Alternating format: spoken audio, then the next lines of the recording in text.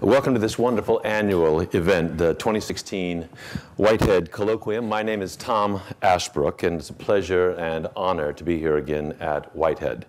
Um, for those of you who have I've not met, uh, I serve as host of NPR's On Point, uh, radio show carried nationwide and broadcast here, from here, out of Boston at 90.9 WBUR Boston. Yes, thank you very much. thank you. Uh, it is a real pleasure and joy to have you with us today to share the newest research and unique offerings of the Whitehead Institute. As I've been told, you are the extended family of Whitehead Institute. Many among you are longtime supporters of this extraordinary place. I expect that one or more of the topics you will hear discussed may capture your imaginations and you, even if you're very familiar with Whitehead.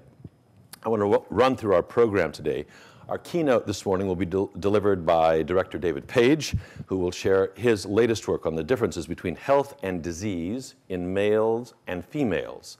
That is very interesting. I'll be paying close attention. The keynote will be followed by an introduction to the Whitehead Fellows program and the opportunity to hear from two of our current fellows, Sebastian Lourido and Sylvia Rouskin. After the fellows presentation, we'll have a 15-minute break, uh, stretch, get some coffee, and then you'll have the chance to explore with our panel the research to medicine ecosystem with Whitehead founding member Bob Weinberg, who's here, Immunic site founders Ifat Rubin Bejerano and Yaniv Bejerano, and Mike Bonney, former CEO of Cubist Pharmaceuticals and current board member of Whitehead Institute. As great as this lineup is, uh, I hope that all of you will play an active part today. We want to welcome throughout all of the proceedings today your questions, your thoughts during our time together. We'll be collecting them at the sidelines here. There are baskets of index cards and pencils at the end of each row of seats. If you have a question, please write it down and hand your card to a staff member, and we will ask as many questions as possible of our presenters at the end of their presentations. Following this morning program, uh, a seated, we'll have a seated lunch with dessert and coffee and more conversation in the cafe at the front of the building. So for those who are new to Whitehead, let me give a brief overview. Whitehead Institute is an extraordinary place to do science, a place where the world's most ambitious and curious scientific minds have the freedom to ask and answer the most important questions in biology. Some questions that already have and others that undoubtedly will change the future of human health. Whitehead Institute was the brainchild of Jack Whitehead. Jack, pictured here, um, with founding director David Baltimore was an inventor by trade and by nature who wanted to create a new model for life sciences research. The founding vision was bold, the experiment was grand, a peerless concentration of scientific talent under one roof and catalyze it with the resources and freedom to blaze new trails. The results have been profound. Countless breakthroughs have transformed our fundamental understandings of biology and disease. But the full measure of Whitehead Institute's impact extends beyond discovery. Whitehead Laboratories make seminal discoveries in neurodegenerative diseases like Alzheimer's and Parkinson's, all cancers, reproductive health, immunology, malaria, and stem cells, shape new generations of scientific leaders, and Whitehead scientists create vital intellectual capital in the form of companies, technologies, and strategies for leading public and private scientific institutions. Today, Whitehead, today's Whitehead laboratories are led by 17 distinguished scientists who do their research here, have their offices here, and are also MIT faculty members. Four fellows, a special group of young investigators who come to us right after graduate school and are given the opportunity to bypass the postdoctoral phase and immediately create independent research agendas and over 300 trainees who come to us as undergraduates, graduate students, MDs, and postdoctoral fellows. These scientists are quite literally doing the research that will change the way that diseases are treated for you, your friends, your parents, our children, our grandchildren.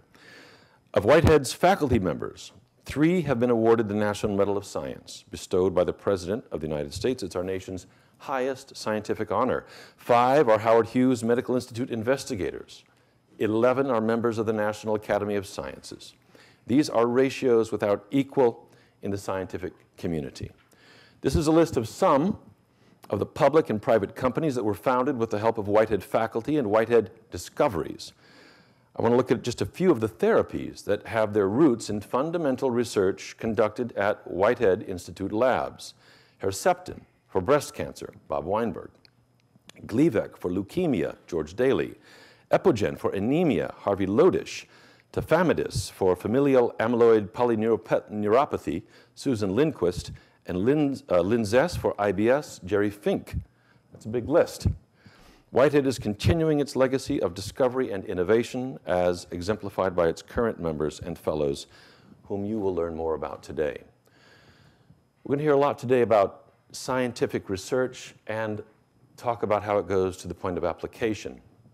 As I stand here, I can't help think personally as well um, of how this all comes down to very, very personal impacts. As human beings, we have this fantastic luxury of understanding our universe doing our best to understand it. How much or little we understand at this point, we don't know, but we are creatures who can do it. That, as far as I know, is unique in the universe, and that's pretty cool. This is one of the places that pushes that leading edge of insight. But this isn't just about understanding more. It's almost two years now since my uh, beloved wife died of cancer. The impact of the disease. Understand. Am I think you can hear me anyway. Yeah.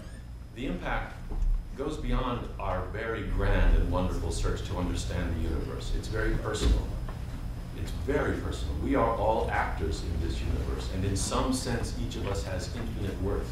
And if you think of your loved ones, and you think of your colleagues who you most value, what they bring to life, my wife, what she brought to this world as a dean at MIT, and everything beyond, these are incredibly personal and deeply important fibers that stretch out from the research that's done here. We cannot afford to lose family members and colleagues and scientists and leaders and everyday citizens who have invested in each other and in this world. The research done here ultimately goes to saving people, our family, our friends, and people will be very important for the present and future of this world. It comes down to very personal stories.